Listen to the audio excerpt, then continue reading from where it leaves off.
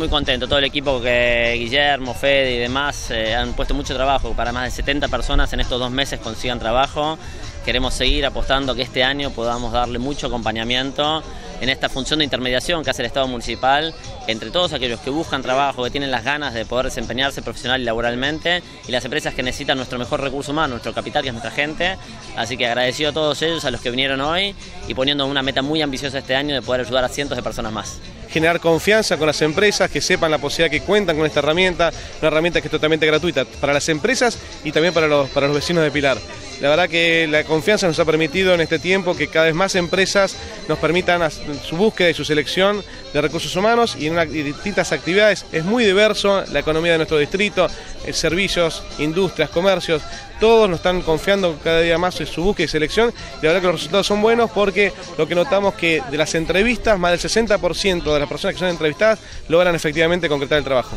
Todos los días cuando recorro los distintos barrios, sea la mañana temprano, cuando tengo un jardín como hoy o voy más de noche, además de los asfaltos o las mejoras en el barrio, un pedido muy recurrente es el de la posibilidad de que ayudemos con trabajo. Y siempre hago lo mismo, les digo, mira, acércate a recursos humanos que tiene una función más limitada porque el reemplazo en la MUNI no es de más de 4 o 5 personas por mes, pero mucho más valioso es acercarte a la oficina de empleo que se generan 30, 40 puestos todos los meses de gente que puede insertarse en el sector privado con unas perspectivas de desarrollo profesional interesantes, muy variadas. Así que en eso Guillermo, Federico y todo el equipo vienen haciendo un buen trabajo y tienen que seguir haciendo más todavía.